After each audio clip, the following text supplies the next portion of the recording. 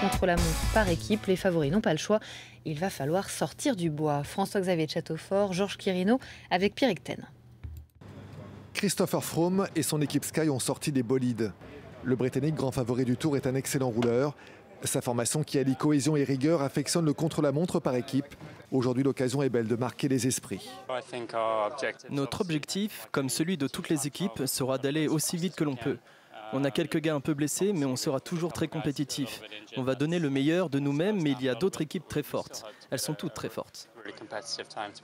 De sérieux rivaux comme l'équipe Omega Pharma Quick Step de Marc Cavendish et du français Sylvain Chavanel, ou encore la formation BMC emmenée par Cadel Evans, sans oublier Alberto Contador.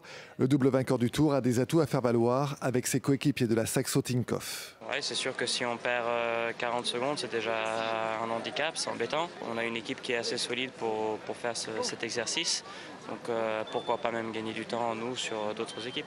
Sur ce contre-la-montre de seulement 25 km sans aucune difficulté, il n'y aura pas beaucoup d'écart entre les favoris. Beaucoup de coureurs sont à une seconde du leader actuel.